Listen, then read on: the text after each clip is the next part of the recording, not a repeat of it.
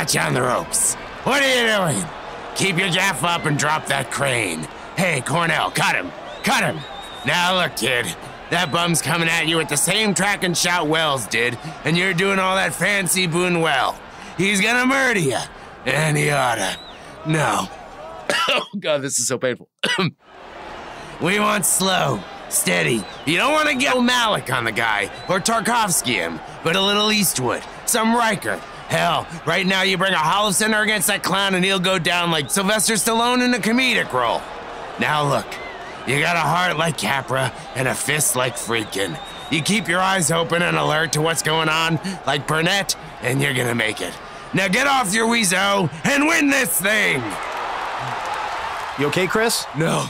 Oh my God. You train I'm for the pod? I don't know. Do you really? you Burgess know- Meredith was able to do that for a whole movie. Well, why do you think his voice sounded that? well, we're here to discuss. This is a movie. It's like not even a movie. It's in the pantheon of pop cultural truth. 40, 50 years on, 100 years on, 200 years on, it's still going to be a thing. It's Rocky, Sylvester Stallone's claim to fame. And we're joined today to discuss Rocky by our friend and colleague, producer, writer, creator, boxer. I just made that up. well, we'll see how the We'll see how it taping goes. Paul Tonelli, welcome, Paul. Thank you. Great to be here. Now, this was your suggestion. Yes, this is uh to me. I was thinking about this morning. I thought I don't remember a time when I didn't remember having seen Rocky. Yeah. I remember a first time seeing it. It's just Yeah. always been. And Rocky's like not to get too crazy about, but he is like a real. He's a real to person me. to you. He's a real person to me, and I say that with confidence and with no. Well, you he's know- a real person to Sylvester Stallone. I mean, he Sly has this thing where he says Rocky is the one character he has that speaks and talks to him and can say things that he feels he can't say. He did an unfortunate meeting of the two. Have you ever seen that video where he's interviewing Rocky? We'll play a little later.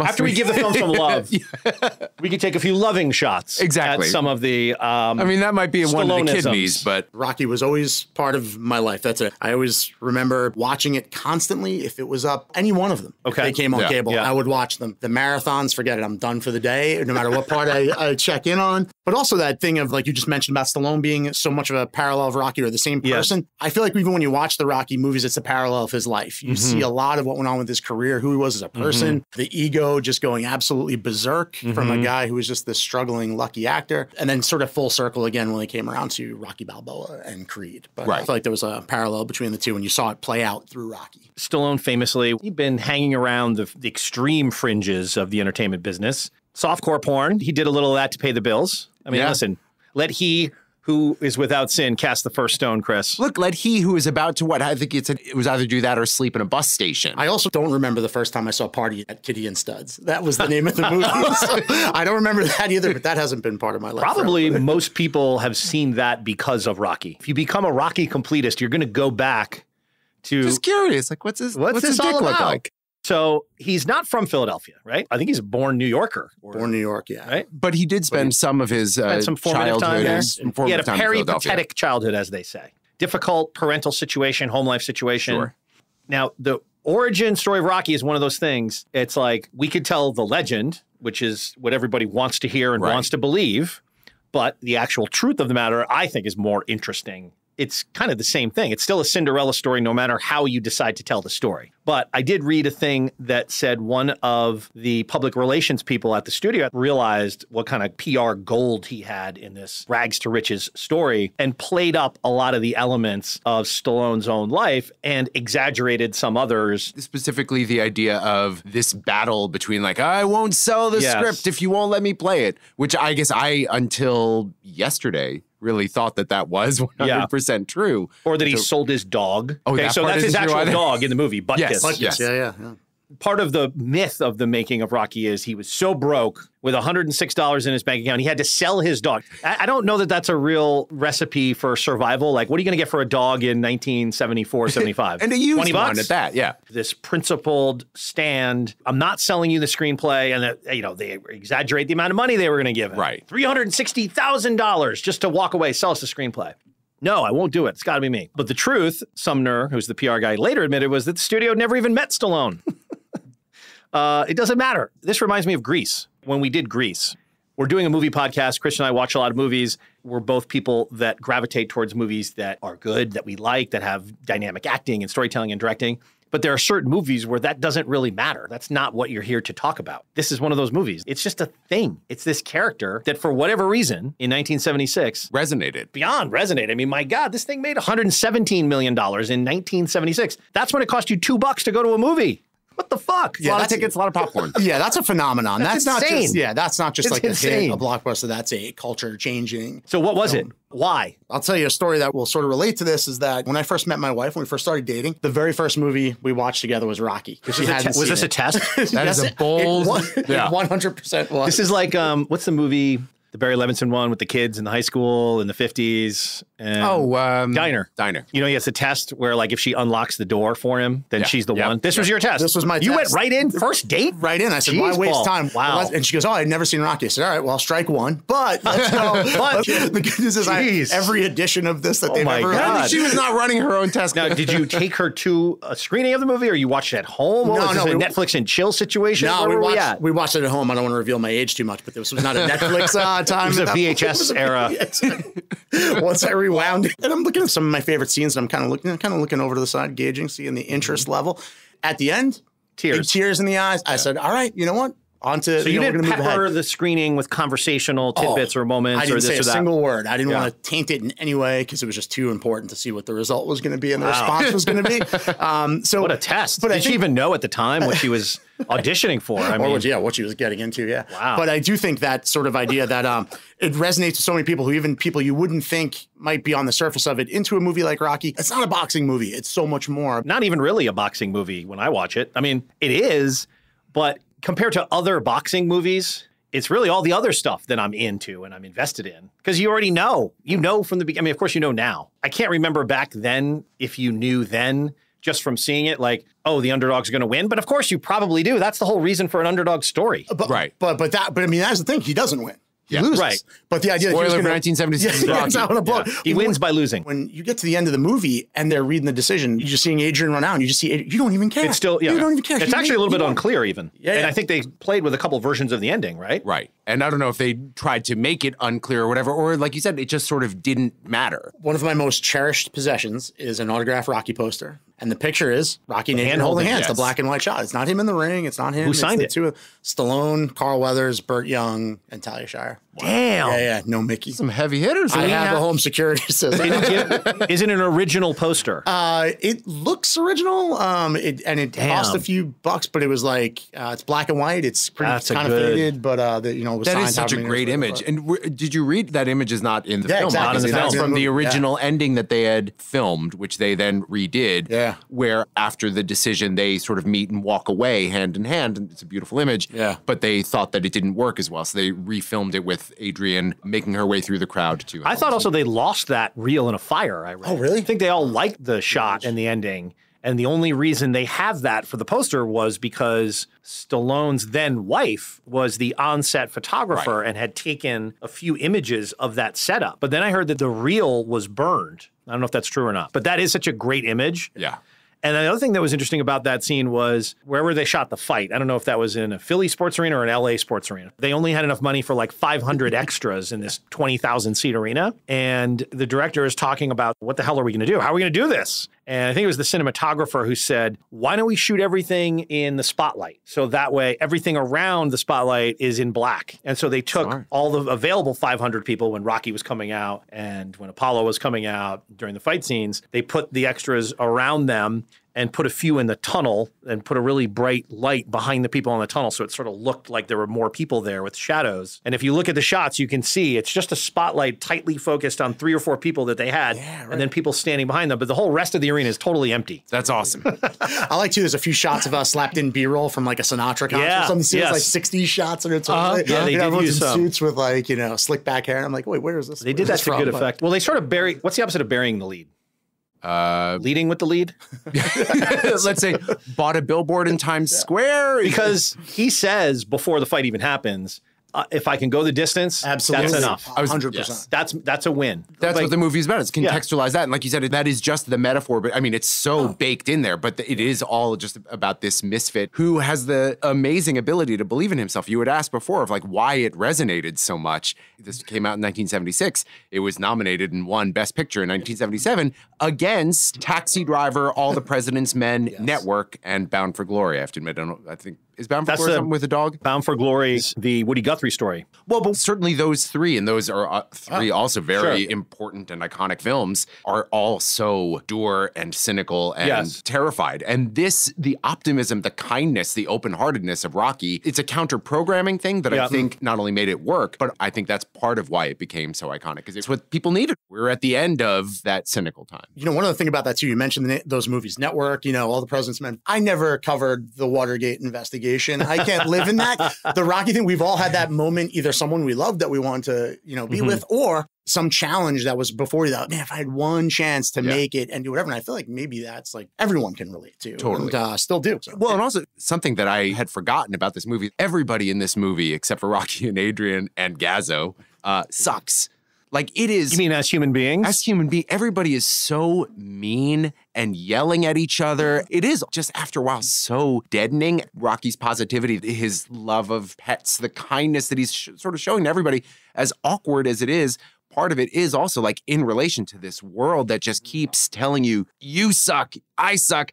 So you got to suck just like me. Like there's this this kind of like everybody wants to drag everybody else down. And I think that becomes most particularly with Paulie. That to me is a big part of it too. His ability, his and her, because like I said, it is a love story and they're both misfits, to keep their integrity and what they want and their belief and trust in themselves afloat in that kind of morass. That's another struggle, like the boxing itself. Saturday Night Fever would come out a year later and had some similar things where Tony is in this group of friends where they break each other's balls constantly. Yeah. Everyone around them is attacking them. And Tony, he's a more complicated character because he does wrong but means well. Yeah. It's a very different movie in that respect. The other thing is if you think about the year before Rocky came out, what was the biggest box office movie of the year? It was Jaws. Mm-hmm. And Jaws was nominated for Best Picture and didn't win. I think in a way, the Rocky win is a bit of an industry acknowledgement and corrective to say popular culture movies are important. And Jaws, if you look at Jaws, Jaws is not a movie I put in the category of Grease or Rocky. Rocky is a phenomenon beyond the concepts of filmmaking or acting or editing or any of those things. It just is this explosive thing. But you know, Jaws is a masterful movie and an incredibly directed piece of popular entertainment. I wonder if the Rocky win is a little bit about that, and also to what we've talked about before on the pod, which is in this era, 1975, 1976, 1977. Everything did suck. We were living in a world of suck Yeah. we had Watergate, we had the 60s, we had tumults, we had assassinations, we had all this shit. And we're in this hangover decade of the 70s, driving around in your mom's clunky Pinto. Mm-hmm. Mm-hmm. That was my experience of it. I don't know if your mom's had, we did have a Pinto actually, Yeah. a white Pinto. which is They used to basically like a bomb. But Yeah. you think when the world is that shitty, for for lack of a better word, at that Yeah. point, you know, to have something that everyone can get behind. But Rocky, you can strip away all this stuff, all the cultural stuff, all of this, all the timing. At the center, it's Stallone. It's the only reason it works, really, is because of him. That willingness to put that character front and center, which is actually kind of subversively weird. You know what mm-hmm. I mean? Like, usually, if you had a movie where a guy has turtles and woos the homely pet shop girl, it's like Marty or something. Whereas this one, you have this really weird kind of combination of a tough guy who can handle himself, who is smart. He's street smart. He's socially smart and aware in every situation he's ever in. The joke is never on Rocky. if the joke is on him, He's letting it happen. a he's letting it happen, which actually is a pretty interesting thing. uh, Just reading a little bit about Stallone and some quotes from him, he knows he's got two, I guess now three pretty big franchises. He knows he can just mint money. What's the third one? I think the Expendables, Expendables, maybe, Rambo, and yeah. this. Oh, really? Expendables? Is that a franchise? Three or four of them? That's There's like all the old three. action guys. Yeah, yeah. exactly. Yeah, I haven't seen yeah, yeah. But that came about from either a canny or a cynical Sure. move of being like, I'm old, people have a nostalgia, Yeah. you know, might as well bring it up. He has a lot of self awareness, kind of like Rocky. He realizes this is the industry. Here's what I can do. Here's what I can't. Here's what I've tried to do. Here's what I kind of wish I had done, but it's kind of too late now. So I'm not going to bother regretting. He has a strong sense of self and wanting his own success. And he's kind of willing to do whatever sort of around it. And I think Mm-hmm. Rocky is like that too. Well, let's come back to this character being this mix of this guy who, in the opening scenes, beating Spider Rico to death in this club Yeah. fight, and then he goes home to feed his domestic turtles, as he likes to call them, and his goldfish. Hey, your old man did pretty good tonight. Why weren't you there, huh? You should have seen me. You guys hungry? No? Here you go. Here you go. You want to see your friend Moby Dick, huh? How you doing, Moby Dick? You miss me today or what? Huh? Huh? Here you go, say hi. You know, if you guys could sing or dance, I wouldn't be doing this, you know. Stallone even says, Rocky's who also I wish I could be. That's the very Right. best of a person. I've obviously never been, you know, as good as that who Mhm. has. But to have that mix of a character of a guy who's so violent, so tough, but also so genuine and warm. Like you said, I don't think I've ever seen a more self-aware character. When Gazzo tells him, uh, I heard you going out on a date with that pet shop. girl." Yeah. And the driver goes, Hey, Rock, I hear she's retarded. You Yes. know? And Rocky goes, Oh, no, no, no. She's just shy. Yeah. Like he's not even offended by this. Yeah. He's Yeah. almost like, No, no, no. I, I get how you might come to that conclusion. Yeah. But just rolls with it or whatever until he feels like he's finally been pushed too far by that guy. But Right. otherwise, Yeah. he's very aware of his lot in life. That's yet another endearing thing. Another, the character, and, but you know? also heartbreaking when he gets offered the fight with Apollo Creed, and his yeah. first impulse is to say No. no. no, yeah, exactly. Which is amazing. Here, here's the thing you've always wanted, Yeah. and money to boot, and you don't even have to wait. He's like, yeah, no. He knows who he is. Absolutely. Tell me, Rocky, you got any representation? You have a manager? Uh, no, just me. Rocky, I've got a proposition I'd like to make to you. Uh, Uh, sparring? Beg your pardon? Well, I just said I know you're looking for sparring partners, and I just want to say I'm very available, you know. Sure you are. Absolutely. Uh, sparring with the champ would be an honor, and you know what, Mr. Jergens? What? I wouldn't take no cheap shots either. I'd really be a good sparring partner, you know. You don't understand me, Rocky. My proposition's this. Would you be interested in fighting Apollo Creed for the World Heavyweight Championship? No. Listen, Rocky. Apollo's seen you fight. He likes you. He wants to fight you. Well, it's just that you see, uh, I fight in clubs, you know, and I'm- I'm really a ham and egg. This guy, he's the best, and uh, it wouldn't be such a good fight. But th- thank you very much, you know, I appreciate it. You know. But the downside of it is if that keeps you from trying or taking an opportunity, that's sad and Yes. heartbreaking. And of course, that there is a turn. I was doing a show with somebody once and she was talking about getting offered a role. She's like, ah, I don't know. I don't, I don't think I'm right for this Mm-hmm. part. And I was like, who cares? Like, if the director, if they think you're right for it, give it a shot. Don't let other Right. people's opinion in the past or that kind of fear stop you from taking the shot, potentially looking ridiculous, which if Rocky and Adrian are courting the entire time, like you said, there's a self awareness. It's not like he doesn't care if he looks ridiculous, but he's like, I'm willing to risk it for something greater. I love in the press conference scene where he's playing his part, but the only time he comes alive is when he is talking to Adrian through the TV. Tell me, how do you feel about your challenger? How do I feel about it? Yeah. What do you mean? Come here, Rock. It's my man, man. Rocky, ain't you Italian? Yeah, I'm Italian. Well, now, what does that mean? That means if he can't fight, I bet he can cook. Do me a favor. His lungs punch out. Well, Rocky, how do you expect to fight Apollo Creed? Uh, well, geez, you know, Creed's the best. Uh, I guess I'll have to do the best I can. Uh, tell me, Rocky, just between us, where did you get the name Italian Stallion? Oh, uh, I invented that uh, about eight years ago when I was eating dinner. Rocky, now your payday will be $150,000. Any comment? Uh, you, you No. got no comment, Rocky, right? No. No comment. No. Right. Thank you, Rocky, Oh, very wait, much. wait, I just want to say hi to my girlfriend, okay? Uh, yeah. Yo, Adrian, it's me, Rocky. Look at this. You believe all this? Look at the microphone and all that stuff. didn't. Thank you, Rocky. You push him, man. Thank you, Thank you, Rocky. Well, What's the ladies matter? and He's making you out a fool. I I sent break his your fight lips. Taking cheap first shots. Don't bother me none. Even with all that, his one thought is, if I could just Yeah. say hi to Adrian, you know, Yeah, like, yeah. ah, which is just, you know, again, that that love story. With those I think you're right. It is a love story first and foremost. The only time he does sort of acknowledge that he doesn't like the look is when he goes out and he says to Adrian, Hey.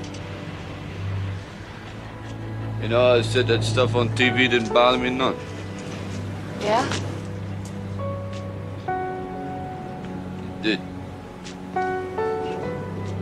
He does feel he is aware. That's pretty heartbreaking. He wasn't ever meant to be put in that kind of a spotlight and they kind of make him look ridiculous. And he's aware of it. he doesn't buy into the bullshit. I think Stallone at that point already knew. And yes, it's a game to be played and to be won. And he did play it and win it. But Rocky's free of all that shit. He doesn't buy into that part of it. Well, it even says that. He says when Paulie says they're Rocky, I don't understand. What do you see in my sister? And Rocky goes, I don't know. We fill gaps. She's got gaps. Yeah, that's I a got great gaps. scene. You know, that acknowledgement that, yeah, what, I know who I am and I know who she Yeah. is. Well, this You is- know, it's great. This might be a good time to bring in the, the ice skating Just scene. queuing it up for you right now. You can see I ain't too graceful, you know what I mean? I don't move well.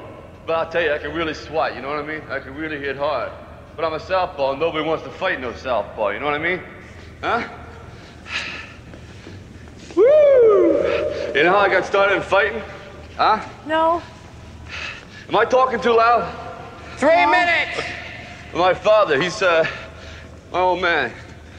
He was never too smart. He says to me, you weren't born much of a brain, you know, so, uh, you better start using your body, right? So I become a fighter. Oh. You know what I mean? Why you, why you left? My mother, she said the opposite thing. What'd she say? What'd she say the opposite? She Said you weren't born much of a body, so you better develop your brain. Did she say that? You! Time! The great George Memmoli at the end. Yeah. From our Phantom of the Phantom of Paradise. Paradise episode. But What yeah, great speaking scene. of uh, the gaps, they both had this advice denigrating one part of them. this is a, what's the word when you don't have something and it's a virtue? When You know what I mean? A particular. It's like, Oh, they, the fact that you don't have it is a good thing. No, you think, well, originally in the screenplay, it was supposed to be like a fully crowded skating session and they were going to be amidst all the extras and all Yeah, things, but they didn't have the money. like a happy accident. Because they didn't have the money, they ended up doing it this way. And then when they got there, it turned out Stallone couldn't skate. So that's why she's on skates and he's on his shoes, but it actually works really well oh, because I read somebody said like they end up holding each other up. Isn't that great too, though? Like even just like any kind of art, it could be music, could be anything where you hear of these like masterpieces and you look and you go, oh, something happened in the studio, and like there's no way that could have been as charming if there was a full crowd there, if he's on Yeah. skates, and and I just love him just talking, talking, talking, and he has like this breakthrough at the end. That's what'd she say? What did you? What did your mother? Yeah, say? like, yeah, I yeah. You know, he's like, all right, you know, made it. Yeah. And, uh, Talia Shire. Amazing. Perfect. Especially the first scene, Gloria, the uh, the pet shop owner, Adrian is trying to do her job and kind of keep it together, and everything is so loud, including Rocky. You can see why he scares her off a little bit. Uh, Well, even that too, when Gloria yells at her. Yeah. It's like you see Rocky trying to, you know, make, you know, trying to talk to her, trying Yeah. to get somewhere. And then Gloria's like, Did you go down there and clean the cages out or whatever? And Yeah. you see her look at Rocky, she's kind of embarrassed, you know? Yeah. And it's like, it's so like, no, no, she, she doesn't want to look like that in front of Rocky. But that's the foundation of Rocky to me, is those two and the goodness represented in his interest in her. Feels equal to me. Like you're saying, she's got gaps, I got gaps, our gaps fit. They have each other. It's amazing that they found each other and that they were able to like break that wall to kind of like actually get together. But yeah, you don't feel like he's saving her. You don't feel like, you know, she's certainly supportive of him and believes in him. And yeah, I don't feel like she's some sort of damsel that he's saving at all. And Paulie, besides being a, a friggin' jerk, How awesome is Burt Young? Amazing. but when they come over for treasure. Thanksgiving for the first Oh, uh, God. Thanksgiving thing, when he's yelling at her like, Hey, I want you out of here instantly. I'm sick of seeing you hanging around like a freaking spider. Go out and live. Enjoy life. Boy, I can't go. Don't get wise with me now, huh? I'm tired of you being a loser. Don't call me that, Paulie. Go, Paulie, I can't go, Paulie, I won't go. Why? Paulie, it's Thanksgiving. I got a turkey in the oven. Oh, a turkey in the oven.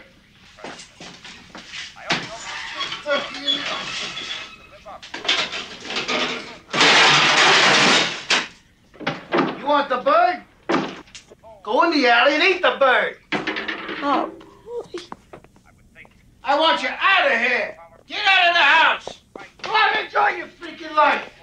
I guess it's a nice inspirational message, but the way he's delivering it, yelling at her through the door, having No, I'll just stay in the kitchen. turkey Thanks. out. That's why uh, we all watch football on Thanksgiving. We don't want to be subjected to that. And it's also went from one of the saddest Thanksgivings ever to like Thanksgiving. when he throws that bird in the alley. My God. And like Rocky says, he goes, To you, it's Thanksgiving. To me, it's just Thursday. Just Thursday. Yeah. And it's such a great, says a lot about Rocky. You talked about how much he's talking during their date. And even though he has pictures of his parents, like he's very alone. And I think that's part of the reason why he does talk so much and is reaching out because he has no family, no connection, no. You're neglecting the warm love, trust, and support of two turtles. Uh, He's got Cuff and Link. Honestly, I don't find them that supportive. Well, and I guess if, if this Rocky is, is clearly devoted to them. sure he's devoted to them, but what is he getting back from them? He Huff still has then- them. Stallone still has the same two turtles. They're still alive. Turtles live forever. I know. So I And mean, you could go to Sly's house. He has the turtles. Well, look, it's so he's still a gotten dysfunctional 40 years of love back from these turtles. I mean, he's fed them for 40 years. moths and crickets or whatever they. Right. What is it? The moths make Yeah, them cough? Too many moths. yes, yes. moths make them are cough. more moths Are the moths supposed to be in the turtle food? If we have any turtle experts listening, or even non-turtle experts, that loneliness and just that everyone's shitting on him. He's at Mickey's and he loses his locker. He's on. He's bagged and put on Skid Row. Gazzo gives him a hard time because he doesn't break the guy's thumbs.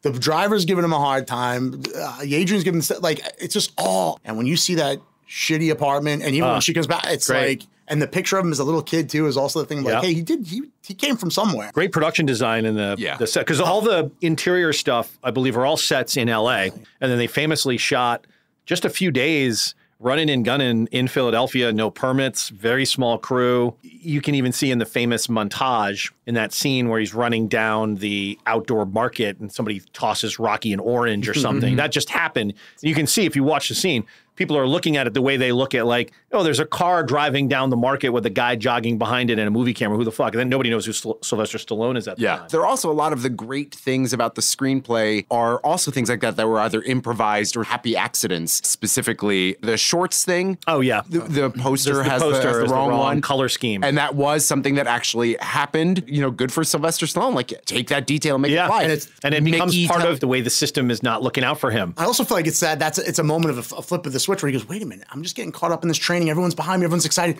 Holy shit, I can't win this. This is Yeah. a joke that I'm even here. And that's when he goes home and has the conversation with Adrian, which Totally. is Yeah. to me just like, oh, I could. Which is listen to right, partially because of the promoter, like his reaction. Yeah. Yeah. I love the promoters wearing like calfskin gloves. He's like the promoters out of like a 1920s, you know, boxing Damon Runyon story. Along those same lines was uh, his monologue to Mickey. Apparently, yeah. was completely improvised. You mean when Mickey shows back up to try and when manage Mickey him? leaves and he's like, Ten years you come to my house.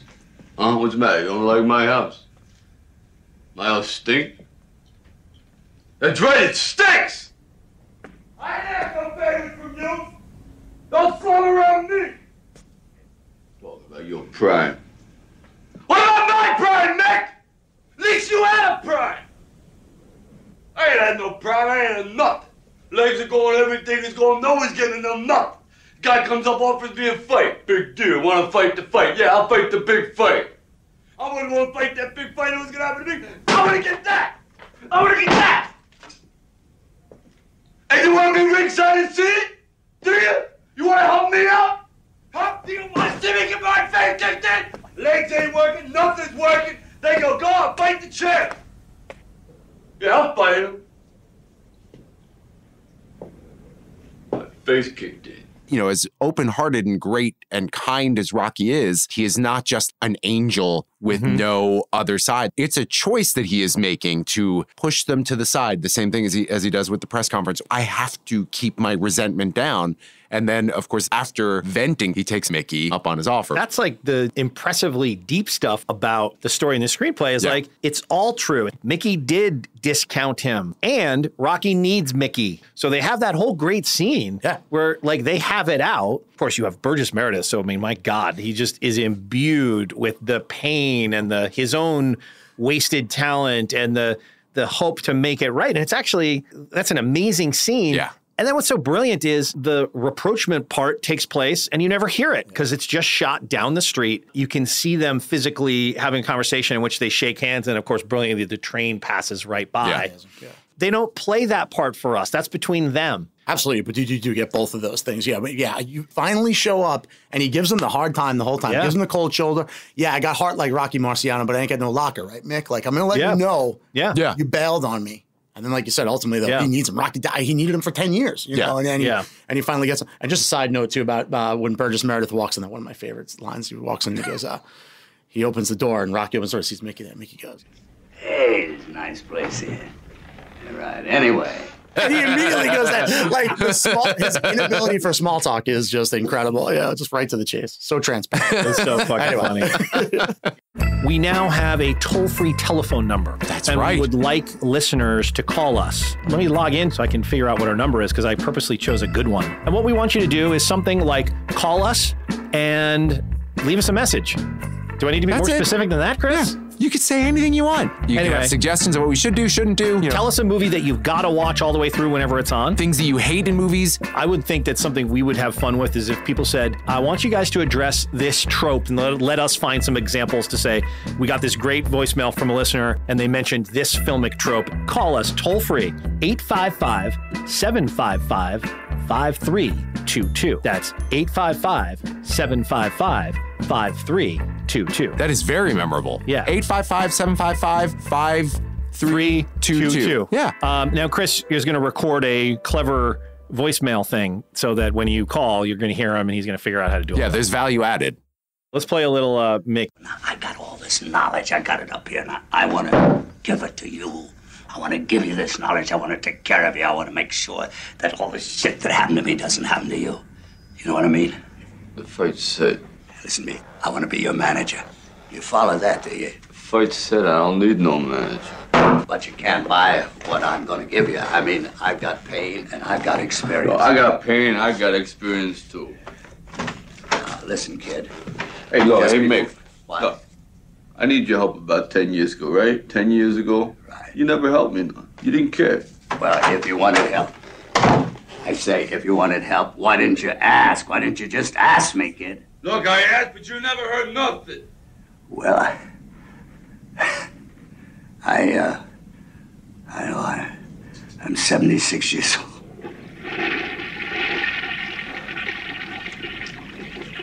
And, uh,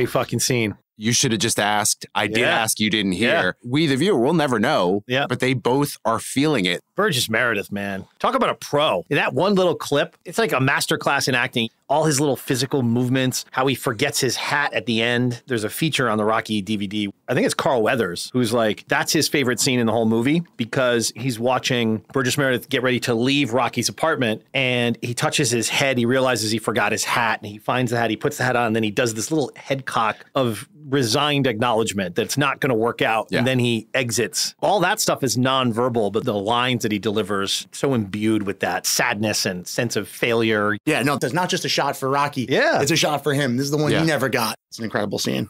As a kid, I only knew him as the penguin. So it's I said, man, the I was going to got say, you know, it's great. that I've already got this voice kind of worked out. I always remember him too from the Twilight Zone, where he's the la- the guy who just wants to read books yes. and gets his, his Breaks glasses. his glasses. Spoiler for great 1958's The Twilight Zone. to go back to Stallone, I like this story, even if this is a myth. Famously, Mike Medavoy was the head of United Artists and loved the concept of this project, but he needed to convince a guy named Arthur Krim, who is the CEO of United Artists. And Arthur Krim said he would consider it, but he wanted to know more about who this Sylvester mm-hmm, Stallone mm-hmm. character is. And Stallone had recently appeared in The Lords of Flatbush. So Medavoy thought Stallone was excellent and he sent a copy of the movie to New York and told him to watch it. And the story is Arthur Krim watched, asked someone sitting near him, which one's Stallone? And somebody told him it was Perry King, who's this Yeah. total blonde, blue eyed, handsome kid. And Krim was like, oh. And he said, he doesn't look very Italian. And apparently the executive said, oh, no, he must be from northern Italy, where there's a lot of blue eyed, blonde haired Italians. Krim thought about it and said, I like Stallone. And he greenlit the movie. That's one slightly less apocryphal version of what actually happened, Right. which is sort of you squeak through. And you know, to get anything greenlit, you have to require so many people who don't know anything about what the hell you're doing to say yes. Yes. And Yeah. this this has the ring of truth to me. Yeah. The little mistake, like once the guy realized, like, oh, Sylvester Stallone's not the guy. I was like, oh well. I mean, I already greenlit it. Yeah. Might as well, keep, might as well keep it. The great Joe Spinell. Oh, the Joe Spinell. Joe Spinell, famously Godfather 1 and 2. Willi Cicci. He's the guy testifying in the great scene in front of the congressional hearing. That's right, Senator. We got a lot of buffers. It's funny. I haven't seen this movie in long enough. I kept waiting for him to put the hooks into Rocky because I'm so educated to that by subsequent movies. But no, he doesn't. Which is such like a nice surprise. It makes it just feel very human, as does the detail of him having the asthma inhaler. inhaler, Yeah, which yeah. I guess was another happy accident that he actually was having an asthma attack while they were filming. But I always get that with Gazzo too. I always get the Gazzo thing being like the same guy, He's like an outsider, a guy from Yeah. the streets, and he takes a cigarette out too. I love that. Come Well, on, come on, you're in training. if you're a Philadelphia mobster, you feel the same way. The real mob is in New York. That's right, right, right. Okay, like you're a Philadelphia mobster. Yeah, it's local like you got a little. yeah, yeah. You're always a little bit of an underdog as well. Couple interesting side notes. Commander Worf is in Rocky. Michael Dorn's first film role as Apollo Creed's bodyguard. Bodyguard. Are you a Star Trek nerd? No, not Come like I'm a on. He's a Rocky Nice. fan. Rocky fans are not Star Trek nerds. There's an overlap, obviously. Come on. You know who Worf is? No. Yeah, Yeah, I know Worf, who. Apollo's Uh-huh. bodyguard is. So, yeah, so I know That's that Worf. Yeah, That's yeah. Michael Yep. Dorn. That's great. The founder of Troma Films. Yeah, Lloyd Kaufman. That's crazy. Now, which was he? Was he the guy? He was the that- drunk outside the bar. We carried in. Oh, that okay. Yeah. because I was always trying to figure out whose thumbs was he supposed to break? Because that's that's a great little performance. The docs, At the dock, very yeah. Oh, the Yeah, docs yeah, guy. Yeah, I Looking don't know on who guy IMDb, I couldn't figure out which His name is character Bob was. in the movie. That's another like Rocky philosophy thing. You want to dance, you gotta pay the band. You understand? you want to ball, you gotta pay the man. He tries to reason with Gazzo, like, you break his thumbs, you guy can't work, he can't pay you back. So See, let me- let me- Hey, let me let me do the reasoning. Let me do the reasoning. Guys oh, are so tight with with his choice of Let me personality. do the reasoning. The guy's got a real sense of humor. Who, How do you Stallone? spell Funny Del. Rio? Oh, yeah. Oh, putting on his glasses to like write yeah. down whose legs he's So got it's a break. yard from Cupola and 300. Yeah, yeah, yeah. Listen, Stallone is similar to Dolly Parton. They're going to both make the joke about themselves that you're thinking before you can make it. And I think this movie to start him off was perfect for that. He's focused on what's really important. He's not focused on the bullshit. Yeah. And then years later, he'd get to that. Of course, he got to that because, yeah. I mean, how could you not? I mean, Yeah. you make a movie for a million dollars that makes $117 million. dollars. But then he came back out the other end, like towards the end. Oh, well, whatever. course. That's a whole different Look, film. but artistic, yeah, yeah, artistic integrity can be tiring. Like you can take a couple years off. Well, do you know? you mean the quest for shoot. it? Because Yeah, that He uh, was that searching too. for it. But once once he But got really, a little bit of he money, he channeled that like- into his painting. His collection of Persian knives. But you- Oh my God. I want to go into the Stallone collection of clothing, knives, amazing. home furnishings is. is that stuff that he's selling? Yes. No, this is like his official merchandise. Intricately inlaid if you're looking for a fourth, pocket knives and stuff. Christmas Yeah. is coming. Uh, Chris, I remember, you I remember you were mentioning you've been looking for a four thousand dollar pen. So if you're looking at that, Oh, yeah, that's right. The pens, the ornate pens. This is yeah. the- this is the Da Vinci model. Oh, another thing you mentioned, you guys were talking about turning something into a virtue, which is still there's still a phrase that I'm searching for that I Yeah. can't that you're letting me down by not remembering.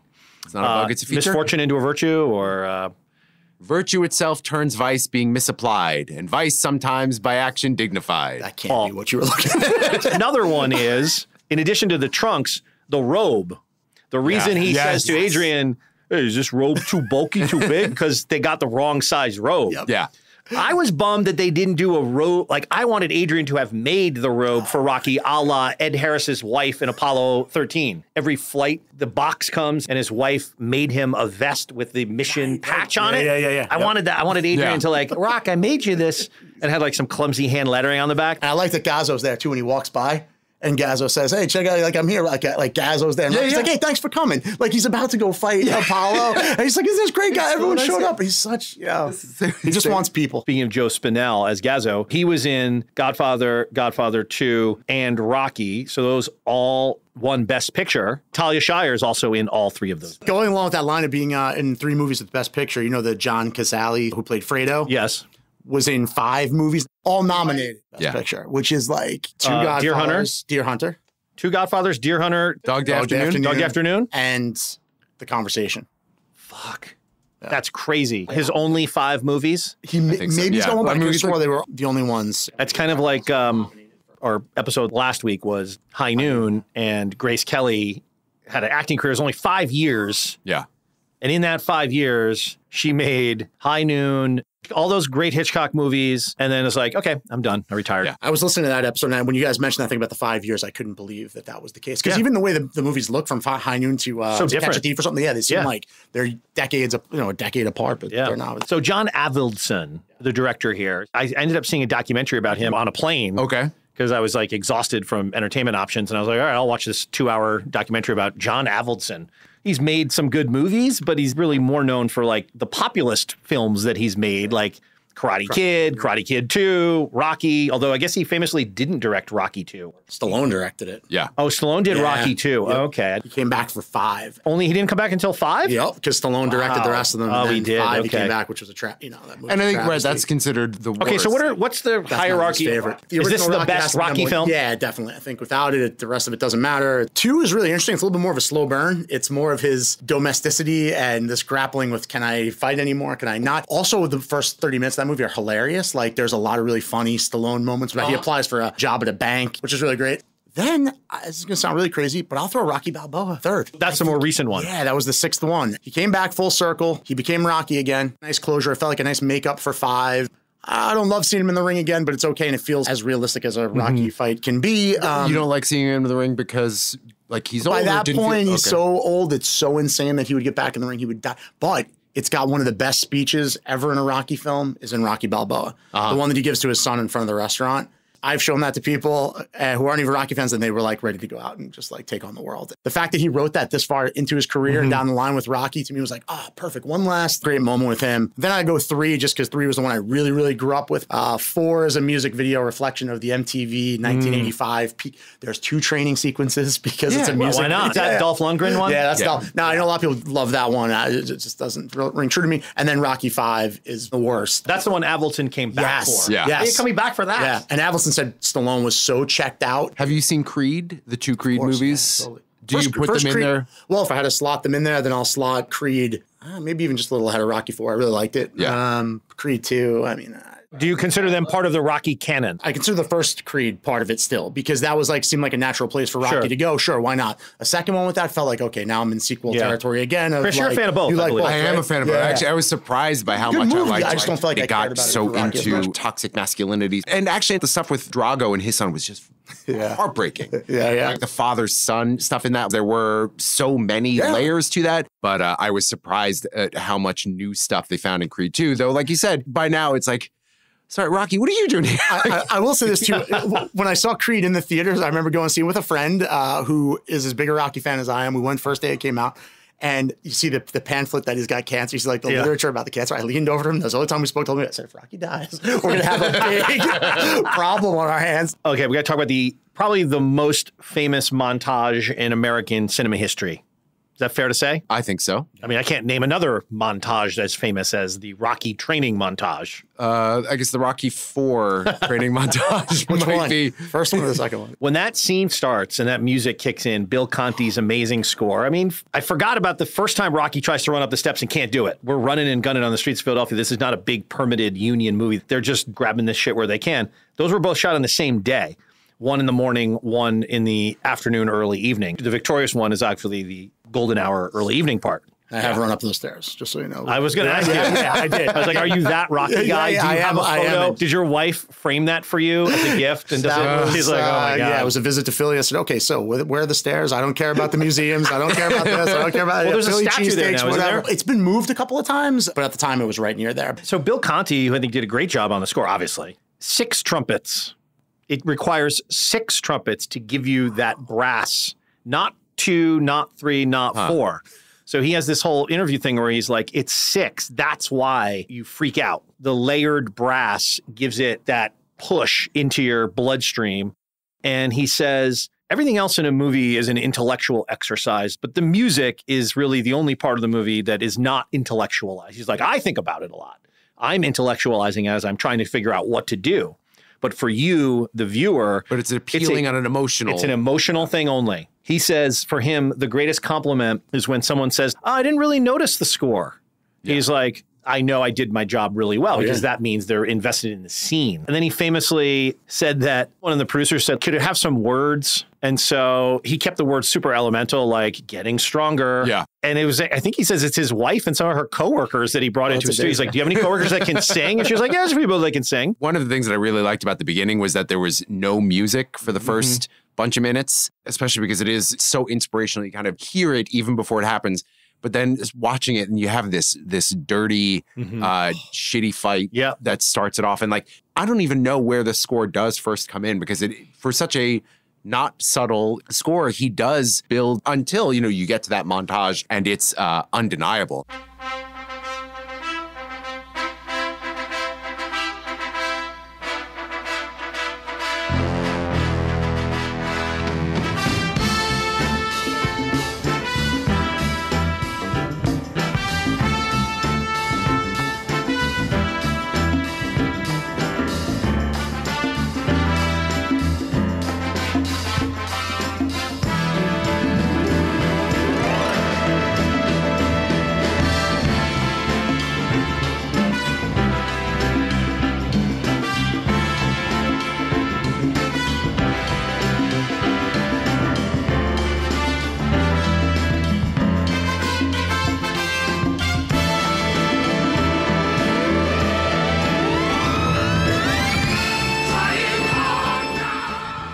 You know what's too, thinking about that, the, you know, the iconic Gonna Fly Now, the trumpet uh, Yeah. version of the song. But you think about the softer part of the song, Yeah. the the more Yeah. downtrodden stuff's going on. The first time he's training, when he gets up in the morning and he does the run up the stairs and he's, and he's in Mm-hmm. Yeah. pain, that music is super emotional as well. Right. It's The- not the just the triumph. Yeah, There's that part of it that gives it the gives struggle, build. you know, Yeah. and as his well, theme so. for Adrian is beautiful. Like every time she's on camera, you have to feel this fragility, this shyness. I think Les- Rocky does whistle the theme coming into the pet shop the first time. That may be the first I time you noted- hear yeah. the musical cue of what's going to be the theme. I wonder if that was deliberate or if he was just like, it's so catchy.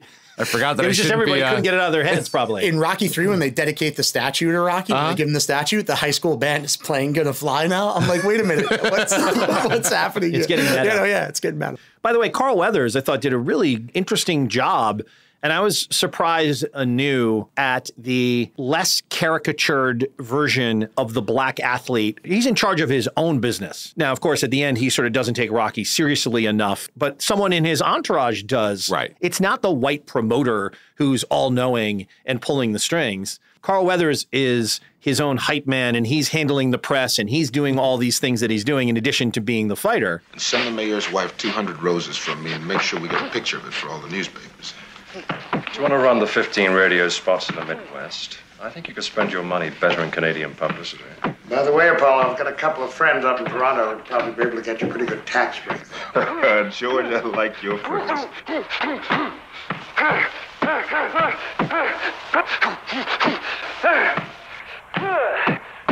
Hey, champ. Gotta come look at this boy you're gonna fight on TV. Looks like he means business. Yeah, yeah, I mean business too.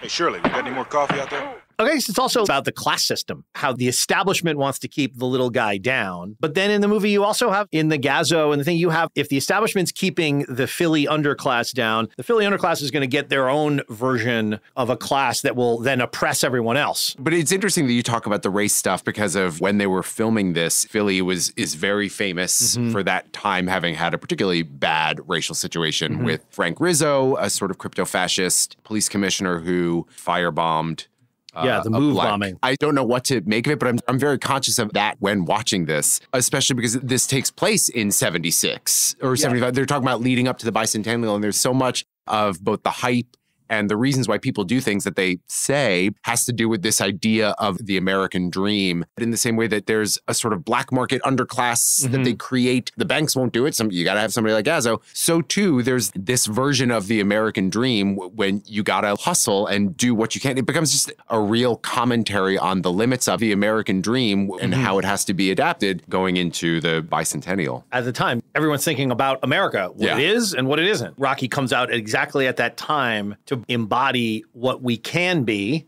but also pretty grittily show what we are. I mean, Yeah. it's such a very it's a very dirty movie. The streets are dirty. The you know, it's Yeah, and it is. It's like a hellscape. in that. I don't know if it's a hellscape, but it's. I mean, it's pre- like it's pretty friggin' bad. Like again, when I think he Philly sees is a hellscape on as the- a Patriots fan. It's a hellscape. These people eat dog the poop. These people eat horse poop, Chris. A Philadelphia Eagles fan famously ate horse poop on the streets. That's Why? the for to, To show celebrate. dedication, celebration, Chris. I don't want to get on a tangent. Now, speaking of tangents, though, do you know that Stallone famously doesn't own Rocky for all the power and the leverage you would think at any one moment he might have been able to sort of insert that, but he made certainly a lot of money and still makes a lot of money. Ownership is a different thing, and that's sort of a legacy Totally. thing that could mean something. But at the time, that was the way business was done, and you just didn't kind of get those things. It sounds like he acknowledges a little bit he didn't he didn't push for it, he didn't draw a line in the sand. Come Rocky 2. Yeah, you would have think Yeah. you would have had the You kind of be like, point. well, you can't do this without me. Right. So let's work something Yeah, out here. point. But He feel says, here's his quote. Quote, I have zero ownership of Rocky. Every word, every syllable, every grammatical error was all my fault. It was shocking that it never came to be, but I was told, hey, you got paid, so what are you complaining about? I was furious. That said, he blames his own naivete and lack of business savvy at the time for not pushing the issue hard enough. Yeah. He said, quote, you don't want to ruffle the feathers of the golden goose. Speaking of the upper class keeping people down, like that's definitely the kind of thing that Yeah, you know yeah. when you're the money man, it's like listen, don't push too hard. Right, right. You got it. Yeah, you're in the movie. Be Yeah, thankful. we're also Yeah, sort of like, made- you know, in 1976, you're still just turning a corner from like a studio system oh, to different types of movies. Yeah. Mm-hmm. No actor had cachet to dictate those terms. I'm not sure, was there a franchise before Rocky? I mean, other than like you know- Bond. Yeah, Bond. Yeah, yeah. The other ones were just. Is there anything he has else A couple that's of that? sequels, but nothing like to the extent that they did more than two. you know, and then in the 80s, then he's going to get into this whole thing with Schwarzenegger where it's like Yeah. dueling action franchises. It's weird too, because like at 75, you had Jaws, which would go on to be a franchise, even though the first one was Yeah. vastly better than the rest. But you know, they made a lot of them. Made at least four. hey, don't slag off Jaws 3D. and then like 76 you get rocky and they make a bunch of those and then 77 you get star wars and then you know so it seems like that was sort of the launching pad for a lot of Yeah. those but Yeah. that's why even with the ownership thing you think about the merchandising say of a star wars something Yeah. like that was still a year away you know from Yeah, people really it's knowing true. even about that so Yeah, conversely, like I wasn't, think George Lucas was like, I'll give you X, Y, and Z. Just give me some I'll take the small toys. percentage The of the toys. toys. The Whatever. toys, Exactly. Toys. The opposite of the naivete. He knew that that's when I buy my four iterations of Baby Yoda for Christmas this year, George is still going to get a percentage of my still money. getting his taste yeah. Put that one back. All right, Chris, do you want to do any alternative casting? speaking of casting I would not change a single but go ahead give me some Oh no, this is these more are the like what they were options? considered. Oh, The okay. These are considered God. before. Don't worry. so they made Paul. the right not like Rocky's not going to die in this conversation. Don't I mean, worry. then He after told that, we're going to talk about how we can improve this movie. That's the part you're going to probably Yeah, not want to be relief, sticking yeah. Uh, well, because as, as we said, so much of it is like legend. There is a question of how many of these alternate Print the starting with Rocky. Chris. People being considered were Italian American actor Ryan O'Neal, Robert Redford. Redford. Philly underdog Robert Redford.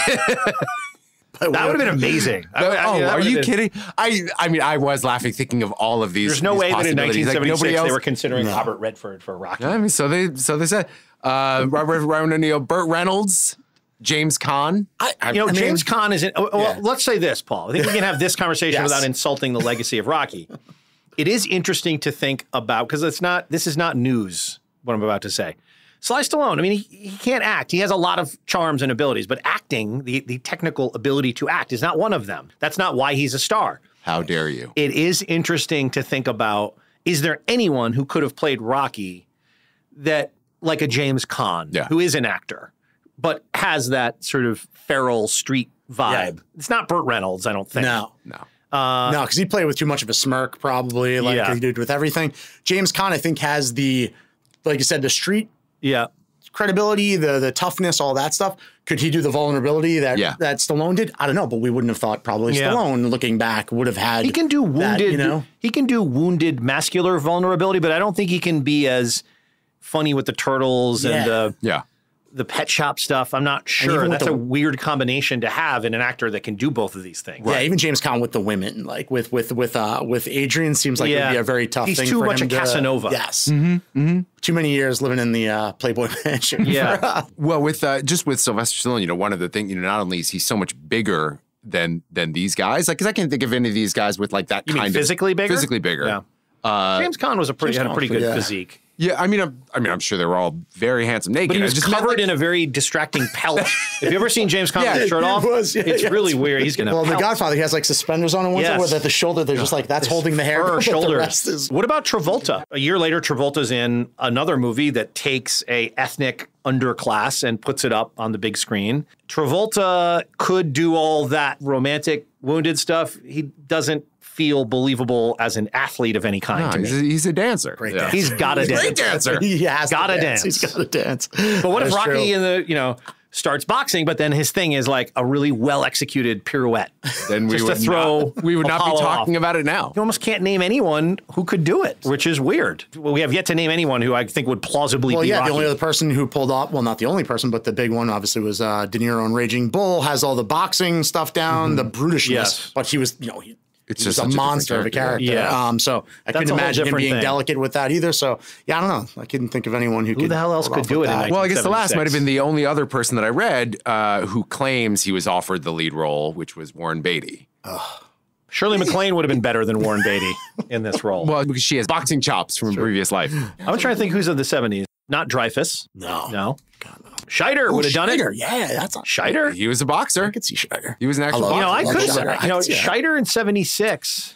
That's Jaws era Scheider. He's a little Yeah. old. It's he's, so he's the, interesting. This he's the closest so far that This movie is so much about being old. Yeah. I mean, well, that's for what he you know, keeps saying. being past it. For being past it, yeah, yeah. And yet, the thing about Stallone that he brings to it, besides his weird looking face and the weird Mm-hmm. Yeah. speech and stuff like that, is there is like that youthful vulnerability on top of That's true. of Yeah, all that. Like, despite being past it, despite everybody saying what he is, you know, there is still something vibrant Oh, yeah. and childlike about him. You know who could have done the romance part? It could have been believable in the boxing stuff. Wasn't a boxing movie, but is not at all right for the Philadelphia part. Is Paul Newman? But he couldn't do the Philly arm breaking part. He was in uh, Somebody Up There Likes Me. He's uh, somebody Yeah. up there likes me.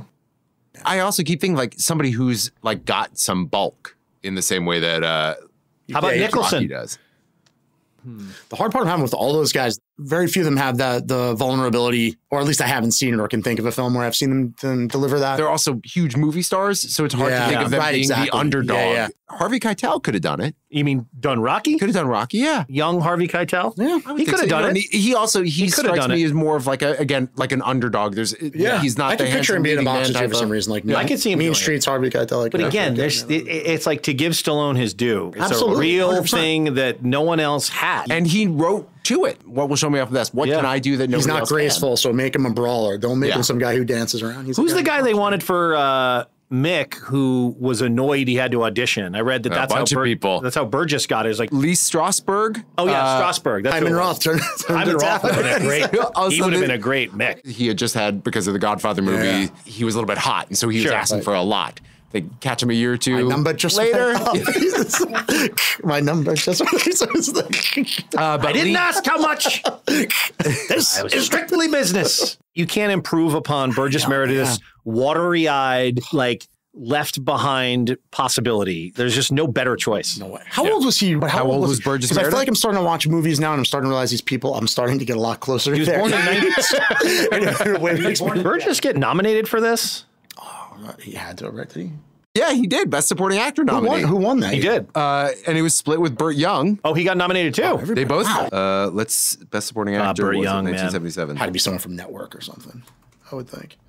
Jason Robards for All the President's Oh, all the presidents. Oh, okay, that's right. the. Actually, Jason Robards could have done Rocky. uh, yeah, he won. But that's he was the winner of that one. I watched a few Burt Young movies, like The Gang That Couldn't Shoot Straight, uh-huh. Across 110th Street, still going.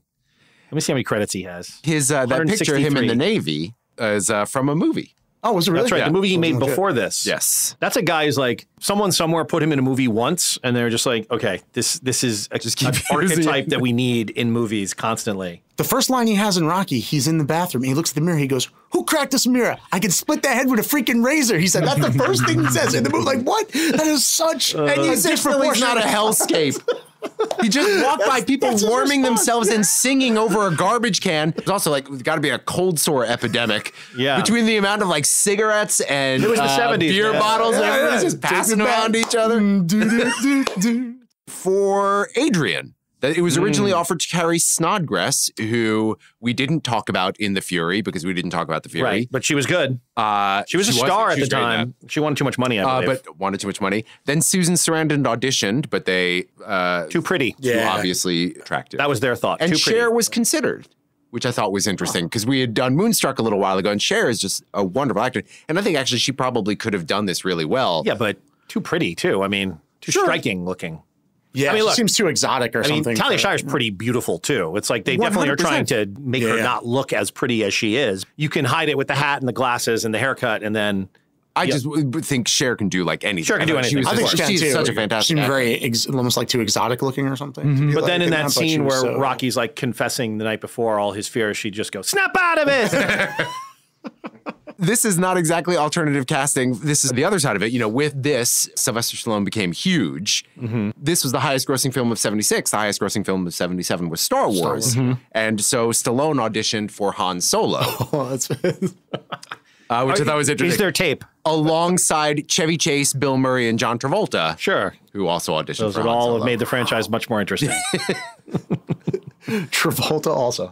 Yeah. We didn't talk too much about Carl Weathers, like you said, except he does a fantastic job with a, great. with a really interesting role. And he's, you know, he's done some great work He's since awesome then. in The Mandalorian. Yeah. Action Jackson was uh, the franchise. Action did Jackson, stick, yes. That was a lot of fun. Predator. He's worked a lot. And he was in uh, Arrested Development. Another Oh, he was amazing in Development. Arrested Had this Development. great, funny, self-aware, yeah. uh, strange sort of cameo. Yeah. Though he was not the first choice necessarily. They originally wanted an actual boxer. Yes. Kenny Norton was offered the role, Yeah. but because he was 230 pounds, he would dwarf uh, would've killed Stallone, who Rocky. I guess is Killed him, 50, yeah, uh, yeah, yeah. 50 pounds. Right. And I think a lot of um, a lot of Apollo Creed stuff wasn't it taken from not Muhammad Ali, whose fight with Bayonne Bleeder, uh, what's his name? Chuck was, Wepner. Chuck Wepner was the inspiration for this story. I think Stallone actually had to pay a Yeah, he- settlement to right. Wepner because Because he Stallone admitted, made like that. in an interview, he was like, "Yeah, I saw the fight." yeah, don't ever say that. Yeah, I wrote a story. Aspiring screenwriters, Right. don't ever tell the origin story. Because now you got to go license. You got to pay Chuck Wepner several million dollars. I'm sure. Yeah. I think it was Joe Frazier that he took some of the um, some of the Apollo stuff Uh-huh. from. In Rocky Three, Earnie Shavers tried out for Clubber Lang. Stallone again at that point where you're starting to believe the myth. Yeah. Come on, don't pull any punches on me. And Earnie Shavers like, really, I just sure? can't, I can't do that. Finally, he kept like goading him and going. He's like, all right, I'm gonna give you just like one, hits him below the ribs. Stallone just goes straight to the bathroom, started vomiting, and says, like get him out of here. and Earnie Shavers says, I guess I didn't get the part. Conversely, Carl Weathers, in his audition, he was sparring with Stallone and accidentally punched him on the chin. This I'm getting from IMDb. Okay. Stallone told Weathers to calm down. It was only on audition. And Weathers said that if he was allowed to audition with a real actor, not a stand in, he'd be able to do a lot better. That's amazing. That's right. The director then told Weathers that Stallone was the real actor and the writer. Weathers looked at Stallone thoughtfully for a moment and said, Well, maybe he'll get better. and Stallone immediately offered them the role. Another about Stallone getting punched. Dolph Lundgren put him in the hospital. Yeah, Oh, him in the oh, yeah. hospital. He's like, hey, treat it for real. Like, really? nothing- After that, he's like, all right, guys, it's just a, it's just a movie shoot. The only actual actor who I saw that auditioned for the role of Apollo as well is Roger Mosley from Magnum PI. Oh, TC. TC, yeah. Carl Weathers played in the NFL, like Yeah. earlier, right? That was He also yeah, he yeah. played with Fred Dryer, Yes. who then went on to star in Hunter. you know, super athletic guy, clearly, you know. He also must be extremely personable. You don't have that type of longevity. If you look at his IMDb page, he's been on a bunch of long-running TV series. You can't be an asshole and get Yeah, he has to employed be that long. If you're not the lead star, where you can be, you know, whatever kind of jerk you want to be and get away with it. Chris, I have two Columbo Cinematic Universe mentions. Columbo Cinematic Universe. Ah, one more thing. So Thayer David, who plays the promoter, he was in a Columbo called Now You See Him. Now You See Him was with Columbo scenery chewer Jack Cassidy as a stage illusionist, killing his employer and making it look like a contract killing. That's the best.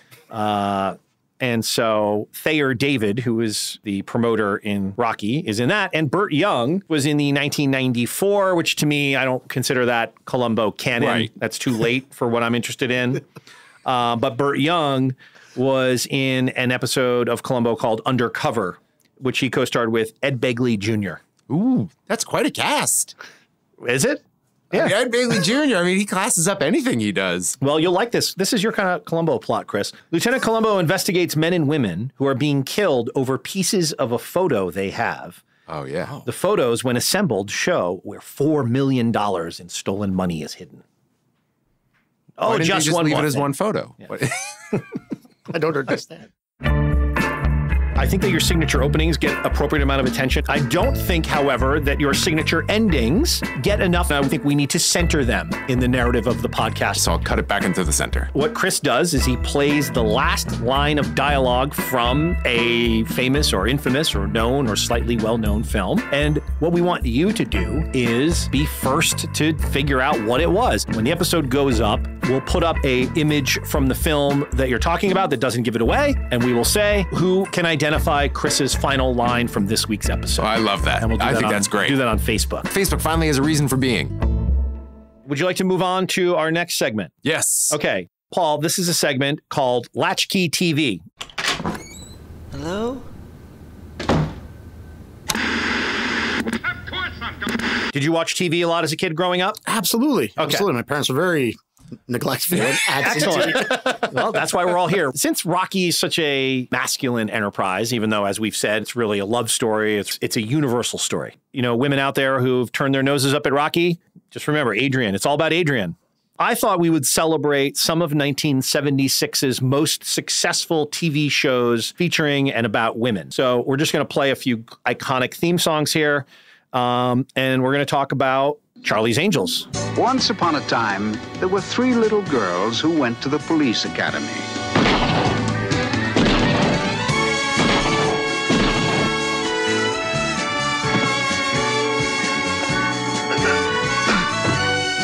And they were each assigned very hazardous duties.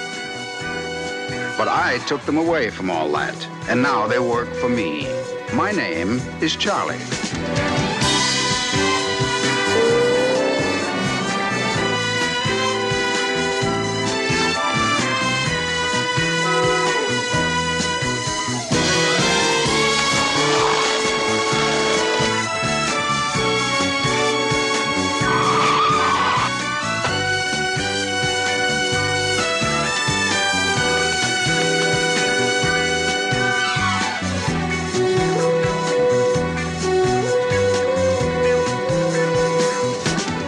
Get confused in all Charlie Angels, like which one's Charlie and then which one's the other guy. Like Charlie, you never see, And that's uh, what's his name? Uh, John John Forsythe. Forsythe. right? Yeah. But Dave Doyle is the other. What's his? Bosley. Bosley. Yeah, he's like the office man. It's a little. Yeah. Too, if I was an executive, I'd just taken out one layer of that. Yeah, well, this Yeah. is the 70s. They, Yeah. they, they get money to burn. How about a fourth angel instead of Bosley? Can we get one more? Iconic opening. The That is a graphics of that, opening, that's yeah. influential. That's a kick ass theme song written by Jack Elliott, who also wrote the themes for Night Court and co wrote the themes to Barney Miller with Allyn Ferguson. That's, great pretty, theme, too, pretty fucking great. So that was a big hit in 1976, as was this. One, two, three, four, five, six, seven, eight. Schlemiel, Schlemazel, Hasenpfeffer Incorporated.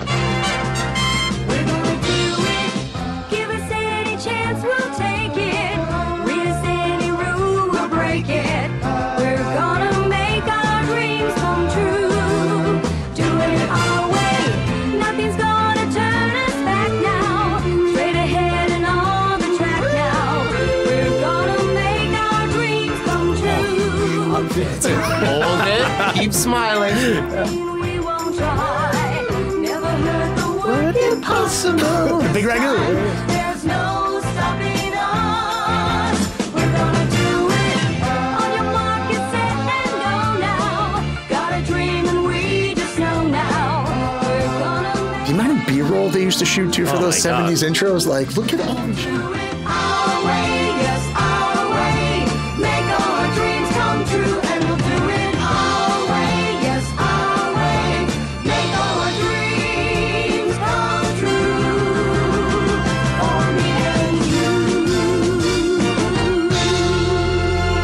That's an amazing song. That is a great song. That is a Yeah. great song. That's written by Charles Fox, who also wrote the theme for The Love Boat. I thought it was Paul Williams that did the theme for the Love Boat. It says wrote the theme song for the series The Love Boat. Maybe Paul Williams and the dramatic uh, theme music to Wide World of Sports and the original Monday Night Football theme.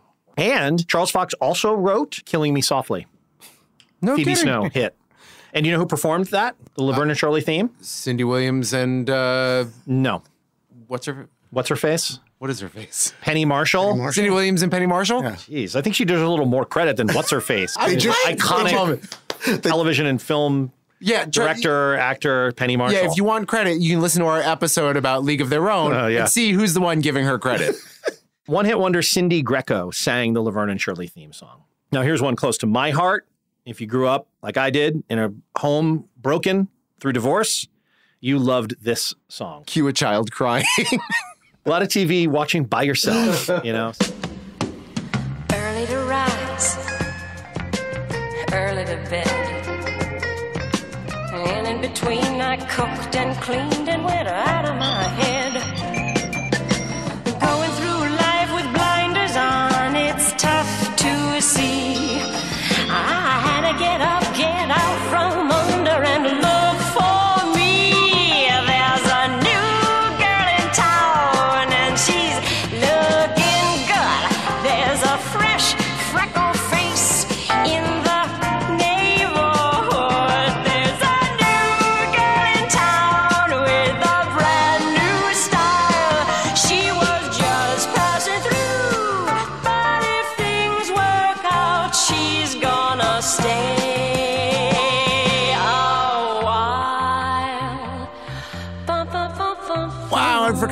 Great that theme song is. Music by David Shire. David Shire, who was originally supposed to compose uh, the Rocky music. That's right. Oh, Uh, but That's then correct. he had a conflict. Yeah. Maybe with That's right, Alice. That's also one of the few examples of the theme song to a show being sung by the star. Of And course. Linda Right. Lavin did I was gonna ask, vocal 'cause Linda performance. Lavin, of course, is she's a got Broadway chops. baby. You She's can hear got the Broadway chops. chops. You can also see in the stuff that they filmed just for this, the like Yes. stagey, hokey stuff. She makes they look like real scenes. Like Yeah, she yeah. actually has stuff Yeah. going on. Absolutely. That was such a huge show for me growing up. Okay, the last one I'm going to play for you is, of course, this one. Wow. One of my favorite shows of all time. Who can turn the world on with her smile? Who can take a nothing day and suddenly make it all seem worthwhile? Well, it's you, girl, and you The B-roll that they shot. Yeah. I mean, two frames of her at the supermarket. Yes. Being A lot of setup. displeased with the pork chop selection. Like, One week of shooting. Yeah. This huge push into an office building across the street. It's like, yeah, look, she's out on a shoot. well, you know, second units are helmed by everyone who wants to be a real film director, so they're going to go for it. Great point. I love this show. Ted Knight. So great. What a This great is one of the great TV shows of all time. Totally agree. Interesting thing about the Mary Tyler Moore theme song, it was written by Sonny Curtis, hmm. who wrote I Fought the Law. Oh wow. Oh, really? Matt the engineer, you can cut in a little bit of the Clash version.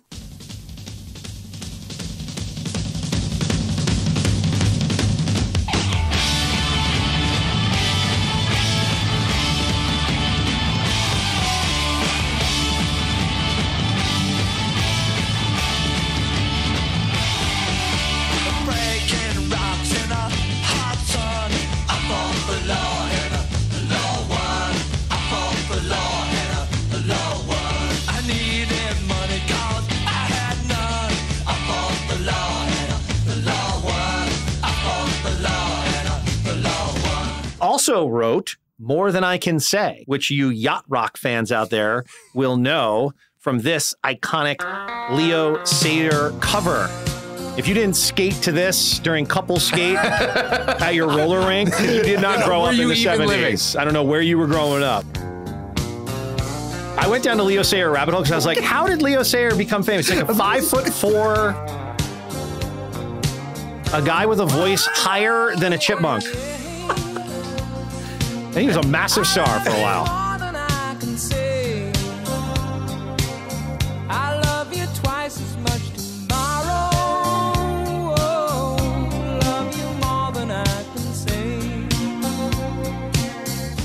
So that's Sonny That's a- Curtis. wow. So anyway, I I just thought that that would give us a little something else. Two other quick things we're going to do. One is we got another voicemail from our voicemail line where you can call the pod and you can rant, you can rave, you can leave a f- leave, leave a f- leave off Leave off. You can leave off a leave message of before you finish what you meant to say. And we have a call from one of our super listeners, Frazier, who is responsible for Chris and I watching The Fury before we switched to a I didn't much The better De Palma movie. So anyway, he left us a message, I believe, to apologize. He also has another recommendation. Hello, attempted superfan Fraser Rice here. Uh, I have a suggestion for a movie. Uh, the last one that I co-opted didn't go over so well. That was The Fury and got shunted aside for something else.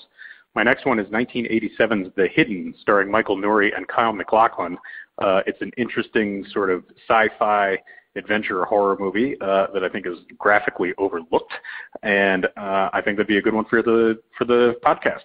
Uh, again, I'm 0 for 1 in suggestions, so hopefully I'm not 0 for 2. Take care. Bye. This is the movie that Frazier suggested. I thought we'd just watch a little of the trailer because I don't think I've ever even heard of this movie. Holy sh! This movie's awesome. You know this movie? Yeah. Um, this is similar to. It's not similar. Other. It- it's its own kind of great. Okay, well, listen, just easy. God, we haven't even played the trailer yet. Chris is getting all. I think you struck a chord, Fraser. Oh wait, I'm thinking of a different movie. I want this car. Jonathan Miller would never do anything to break the law. I need the keys. Sure, you're talking about the same movie, Chris? Bye. He is a very fine, very honest gentleman.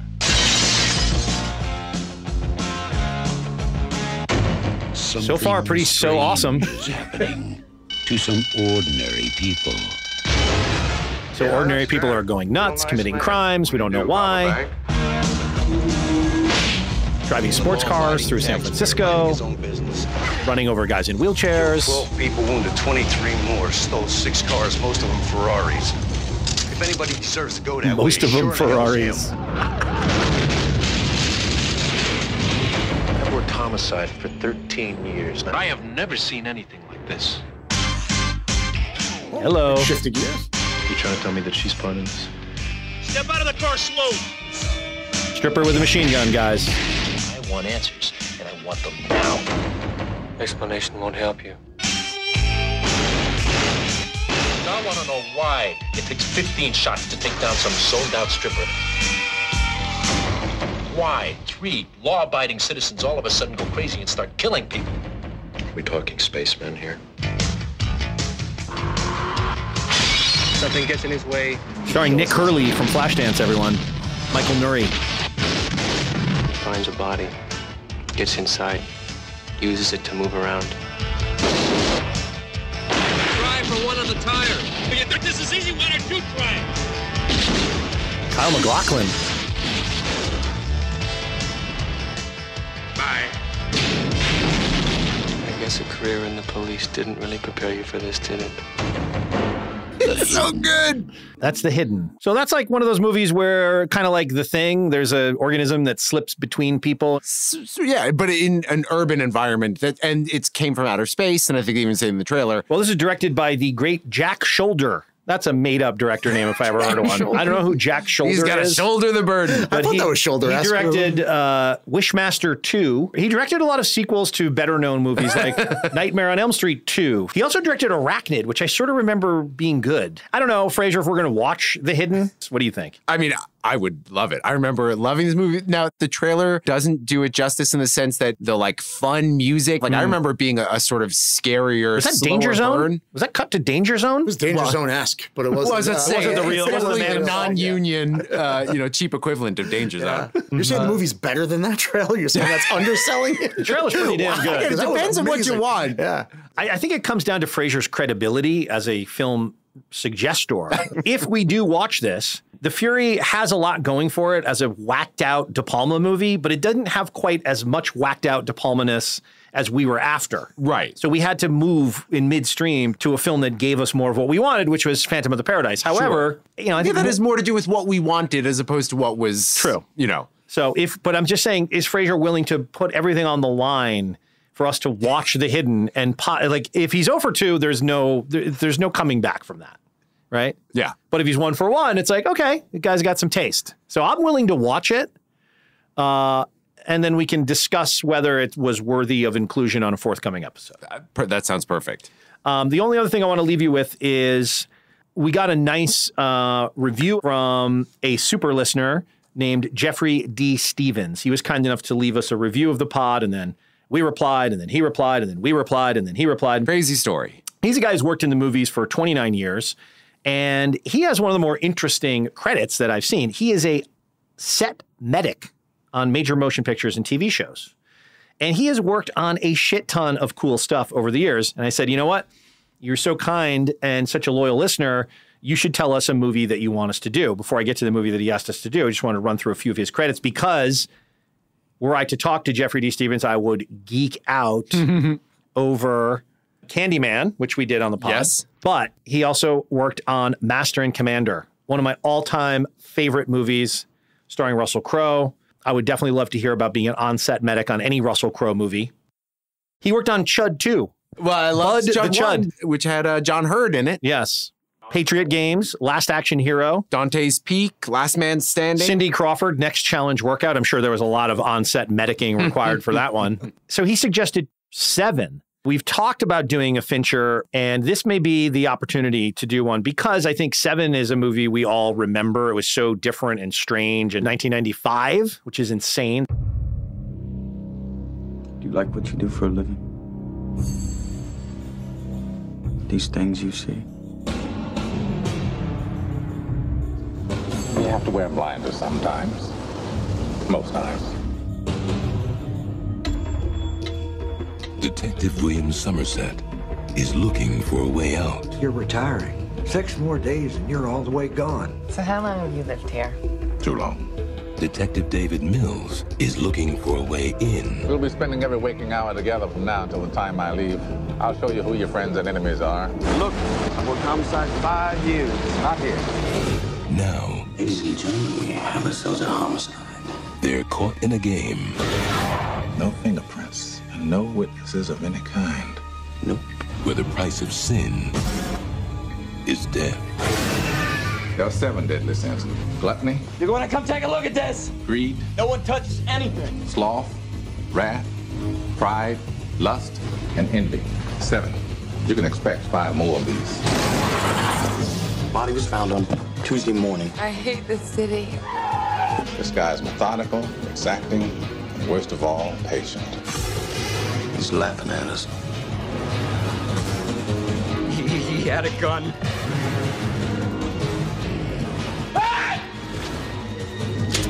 Let's finish it. Brad Pitt, Morgan Freeman, Gwyneth Paltrow. Have you seen anything like this?